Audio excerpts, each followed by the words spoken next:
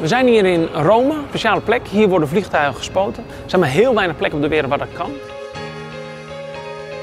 Het is uniek dat we een KLM-toestel die ging eruit eh, na 29 jaar. En het is ook de oudste vliegende 747 ter wereld.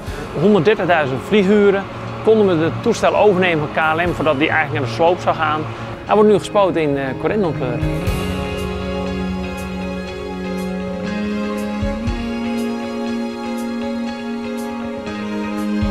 We gaan er een experience in maken. Men kan de luchtvaart ervaren, een stukje geschiedenis van de luchtvaart.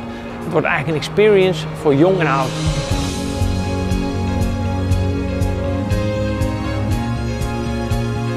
Ja, straks komen we aan op Schiphol. Dat wordt echt de laatste vlucht. Een hele speciale vlucht, want die komt helemaal in Corendon, Luckerville, gaan we naar Amsterdam toe.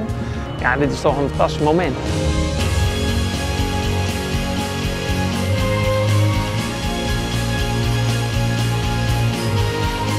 En daarna gaat hij dan in. Dan gaan we hem eh, ontmantelen en schoonmaken. En dan wordt hij vervoerd daarna in februari naar ons hotel.